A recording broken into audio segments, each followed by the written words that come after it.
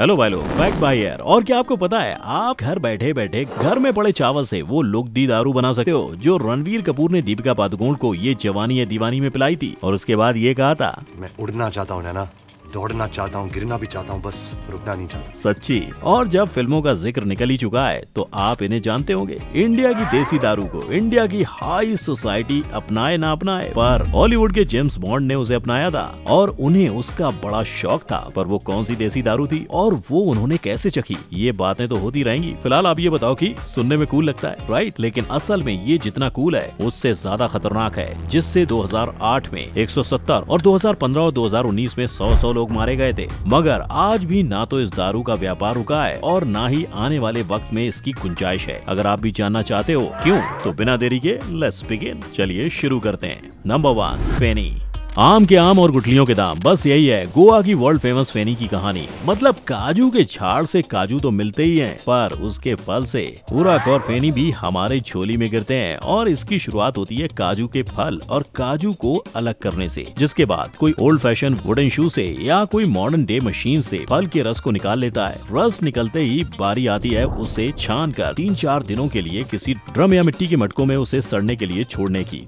तीन चार दिन के पूरे होते ही रस को निकाल कर उसे उसे एक भट्टी पर चढ़ा दिया जाता है, जहाँ उसकी डिस्टिलेशन प्रोसेस यानी लिक्विड को बर्फ़ बनाकर उसे फिर से पानी के फॉर्म में लाने की प्रोसेस को पूरा किया जाता है। तो भट्टी पर चढ़ा बर्तन सिर्फ़ एक पाइप को छोड़कर पूरी तरह बंद होता है। उसी पाइप से काजू के फल का रस पाइप के ज़रिए छह से आठ घंटों में बर्फ़ बनता है। ठंडा होकर फिर से लिक्विड फॉर्म में आता है और एक बर्तन में स्टोर किया जाता है और तैयार है उरक वो दारू जिसमें ten to fifteen percent alcohol होता है। अब उरक से फेनी बनाने की बात करें तो जब आप उरक को सेकेंड टाइम डिस्टिलेशन प्रोसेस ऐसी गुजारते करते हो तो एल्कोहल का परसेंटेज 40 से 45 परसेंट हो जाता है और यही होता है फेनी जिसे आप ऐसे एंजॉय कर सकते हो। फेनी इंडिया का पहला अल्कोहलिक बेवरेज है, जिसे सरकार ने जियोग्राफिकल इंडिकेशन यानी जीआई टैग दिया। यानी इसे बनाने की कोशिश तो हर कोई कर सकता है, पर उसका नाम फेनी नहीं रख सकता। वो बस गोवा वालों का हक है। नंबर टू लुकदी ये जवानी है दीवानी में बनी ने नैना को जो लुगदी पिलाई थी। आप जरा उस पर चर्चा कर लें। हिमाचल प्रदेश की ये ड्रिंक लुगड़ी। चावल को सड़ा सड़ा के बनती है।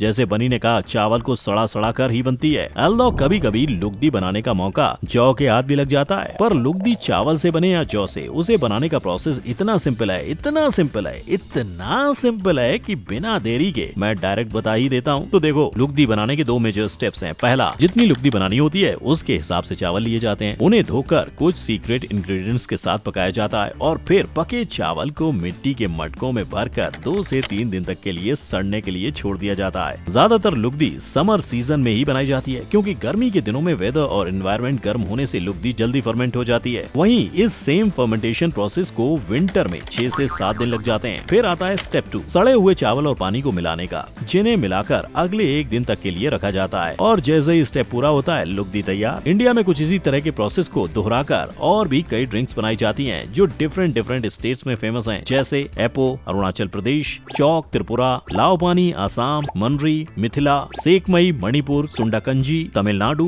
और हंडिया झारखंड शायद इसकी वजह यही है कि इस तरह के बेवरेजेस हमें इंडस वैली सिविलाइजेशन के दौरान ही मिल गए थे और फिर जैसे जैसे हम आगे बढ़े, लोगों ने अपने अपने हिसाब से इस ड्रिंक को बदला और नया नाम दे दिया। इसके कई फ़ायदे भी हैं। नंबर थ्री अरक। किशमिश, खजूर और गन्ना। और रंग तो जमना ही है क्योंकि इनके मिलने से ही तो बनता है लद्दाखी अरक, यानी लद्दाख का सबसे पॉपुलर और लोकल दारू। पर ये हमेशा से इंडिया का नहीं रहा है। वर्ल्ड का सबसे पुराना डिस्टिल्ड स्प्रिट होने के चलते कई देशों में इसके अलग अलग वर्जन अलग अलग इंग्रेडिएंट्स के साथ मौजूद है। जैसे इंडोनेशिया में इसका नाम है एरक और इसे रेड राइस से बनाया जाता है। श्रीलंका दुनिया का लार्जेस्ट कोकोनट अरक प्रोड्यूसर है, और सेंट हेलेना में अरक को बनाने के लिए पोटेटोज का इस्तेमाल होता है। इंडियन अरक की बात करें तो इसे बनाने के लिए जैसा मैंने कहा, किशमिश, खजूर और गन्ने को एक साथ मिलाकर उन्हें सड़ाया जाता है और फिर उस सड़े हुए घोल को तब तक डिस्टिल किया जाता है, जब तक उसका एल्कोहल लेवल 50 से 70 परसेंट जितना नहीं हो जाता। ये ड्रिंक आप सिर्फ़ इंडिया के नॉर्थ में ही नहीं, पर तमिलनाडु केरला और कर्नाटका जैसे साउदर्न स्टेट्स में भी एंजॉय कर सकते हो, जहाँ ज़्यादातर उसे कोकोनट शुगर कैन और रेड राइस से बनाया जाता है। Number four कैदम।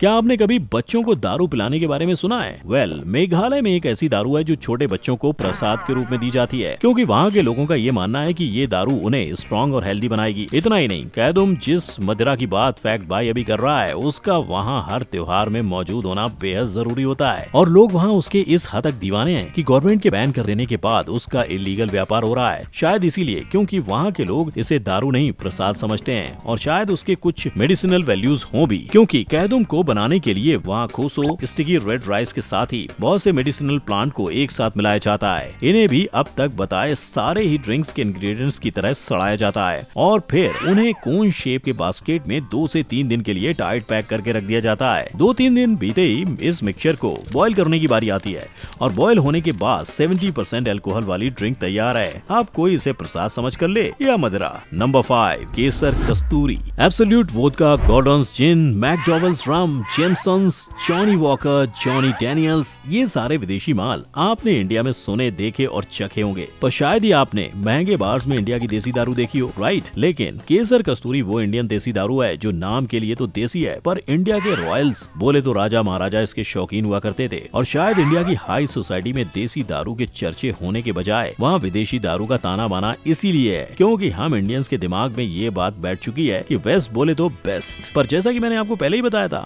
हॉलीवुड के जेम्स बॉन्ड और सर रॉजर मूर तक को इस केसर कस्तूरी की कीमत पता है। असल में एटीज की ब्लॉकबस्टर ऑक्टोपसी को जब राजस्थान में शूट किया जा रहा था, तभी उन्होंने राजस्थान की इस मदरा को पहली बार चखा था और बस वो इसके प्यार में पड़ गए। और सिर्फ़ जेम्स बॉन्ड ही नहीं, चाँद पर कदम रखने वाले पहले इंसान नील आर्मस्ट्रॉन्ग वो दूसरे विदेशी हैं, जिन्हें राजस्थान की इस ड्रिंक ने अपना दीवाना बना लिया था। शायद इसके इसी फेम के चलते आज लोग ये तो जानते ही हैं कि ये देसी दारू केसर और बाईस तरह के ड्राई फ्रूट्स हर्ब्स और स्पाइसेस से बनी है, लेकिन वो कौन कौन से हैं और उनसे ये कैसे बनती है, इसका आता पता किसी को नहीं है। नंबर सिक्स देसी दारू।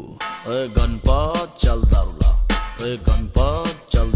इंडिया में कंज्यूम होने वाले टोटल अल्कोहल का टू थर्ड देसी दारू होता है। और अब हम इसी की बात करेंगे। तो देसी दारू इंडिया में सदियों से बनाई जा रही है। और इसे कैसे बनाते हैं? वेल खुद ही देख लो। इसे बनाने के लिए सबसे पहले पानी में गन्ने के गुड़ को मिलाया जाता है। गुड़ के पानी में घुलने के बाद इसमें ऐड होता है ईस्ट और फिर बारी आती है सूखे हुए महुआ की। और ये बहुत ही ज़रूरी इंग्रेडिएंट है, क्योंकि आप जितनी दारू बनाने वाले हो, उसके लिए आपको उतना ही महुआ चाहिए। एग्ज़ाम्पल एक लीटर के लिए एक किलो महुआ। खैर, ये तीनों ही चीज़ें मिलाने के बाद इसे भी एक से दो दिन के लिए सड़ाया जाता है, जिसके बाद ये कुछ ऐसा दिखता है। और ये कलर दिखा मतलब आपका 60 परसेंट काम डन। इसके बाद आपको बस डिस्टिलेशन प्रोसेस को फॉलो करना होता है, और आपकी देसी दारू बिल्कुल रेडी पर वो पीने के लिए या लोगों की जान लेने के लिए? क्योंकि ज़्यादातर लोग जो इस दारू को बनाते हैं, वो इन स्टेप्स को सही तरह से फॉलो नहीं करते, जिससे ये जहरीली बन जाती है। एग्ज़ाम्पल के लिए, इसे ज़्यादा नशीली बनाने के लिए इसमें यूरिया और ऑक्सीटोसिन मिलाया जाता है। यूरिया एक तरह का पॉइजनस केमिकल है, और ऑक्सीटोसिन एक ऐसा केमिकल जो लोगों में नपुंसकता और नर्वस सिस्टम से जुड़ी हुई कई बीमारियों की जड़ है। और जब ये दोनों ही चीज़ें मिलती हैं तो इनसे एक तीसरी और भयानक चीज़ बनती है, और वो है मेथनॉल एक ऐसा सब्सटेंस जिसके शरीर में जाते ही बॉडी के अंदर के पार्ट्स काम करना बंद कर देते हैं, और जल्द ही इंसान की मौत हो जाती है। बिल्कुल वैसे ही, जैसे फरवरी 2019 नॉर्थ इंडिया के आम आदमी पिंटू कुमार की हुई थी। दरअसल पिंटू अपने किसी दोस्त की मौत का मातम मनाकर घर लौट रहा था, पर उसके घर पहुँचने से पहले उसे अपने दुख का इलाज देसी दारू मिल गया। तो पिंटू ने बिना देरी के प्लास्टिक पाउच में मिल रहे देसी दारू के कई पैकेट खरीद लिए। अब हालाँकि इन थैलियों में भरी शराब दिखने में तो थोड़ी ज़्यादा दूधिया रंग की थी और उसकी खुशबू डीजल फ्यूल जैसी आ रही थी। फिर भी पिंटू ने इसके बारे में न सिर्फ़ खुद, पर अपने दूसरे दोस्तों के साथ भी ये दारू पी और बस कुछ ही देर में पिंटू और उसके दोस्तों की लाशें वहीं ढेर हो गई अगर पिंटू पहले ही डीजल जैसी खुशबू और शराब के दूधिया रंग को देखकर खतरे को भाप लेता तो शायद आज वो ज़िंदा होता। लेकिन पिंटू को ये चीज़ें नज़र नहीं आई। उसे कुछ नज़र आया तो वो था थैली में मिलने वाली दारू का दाम, जो बोतल के मुकाबले 40 परसेंट कम था, जिसने उसकी जान ले ली। और इंडिया में कई ऐसे लोग हैं, जो इसी तरह मारे जाते हैं। वेस्ट इज़ बेस्ट के बाद इंडियन देसी दारू के स्टेट से नेशनल और नेशनल से इंटरनेशनल ब्रांड बन पाने की ये भी एक बहुत बड़ी वजह है। अगर इंडिया को अपने इन हेरिटेज ड्रिंक्स को आगे लेकर जाना है तो हमें जल्दी इसके लिए स्ट्रिक्ट रूल्स बनाने होंगे। आपको इस बारे में क्या लगता है? आपने इनमें से कौन सी मदरा का पान किया है? मुझे नीचे कमेंट सेक्शन में बताओ। वीडियो को लाइक शेयर और चैनल को सब्सक्राइब कर दो। हम फिर मिलेंगे। जय हिंद।